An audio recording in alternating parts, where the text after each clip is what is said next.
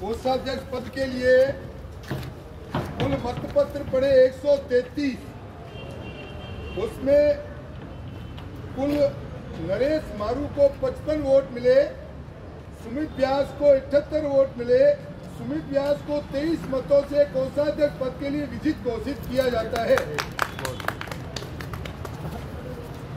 महासचिव पद के लिए कुल तीन उम्मीदवार थे 133 मतों का उपयोग किया गया।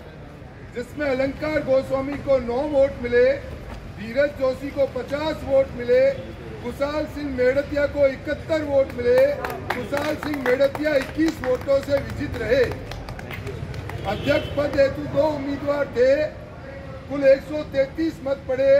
श्री नीरज जोशी को बावन वोट मिले श्री भवानी जोशी को 77 वोट मिले पच्चीस वोटों से विजित रहे। इन तीनों की मैं विजय की घोषणा करता हूँ। धन्यवाद साहब बहुत बहुत धन्यवाद